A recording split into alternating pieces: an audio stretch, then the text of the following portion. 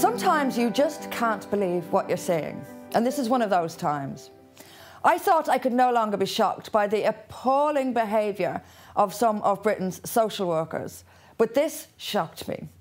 It was reported recently that social workers in the West Yorkshire city of Bradford had turned a blind eye to the grooming, sexual abuse, and rape of a 15 year old girl in the city.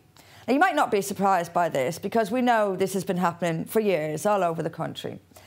Grooming gangs catapulted into public consciousness in 2015 with the publication of the Jay Report.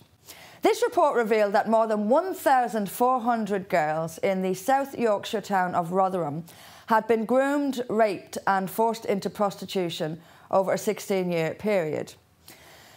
We know now that this has happened in Oxford, Telford, Newcastle, and elsewhere, and it's still happening as I speak.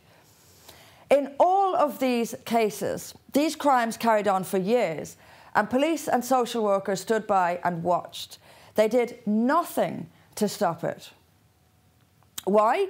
Well, because of incompetence and laziness, yes, but also because the rapists are Muslims and the girls mostly white, and these Muslims think that white girls are trash. That's the reality.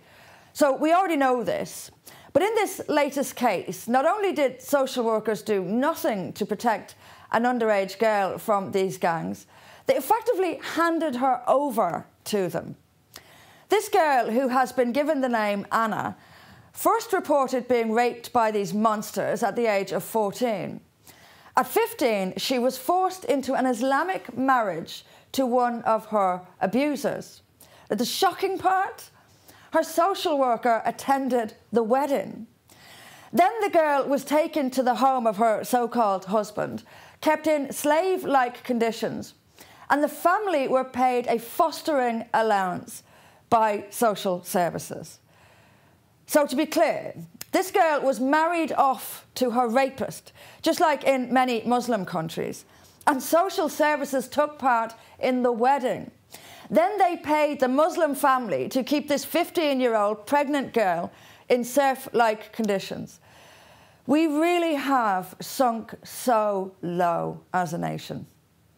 For the record, it's illegal to have sex with someone under the age of 16.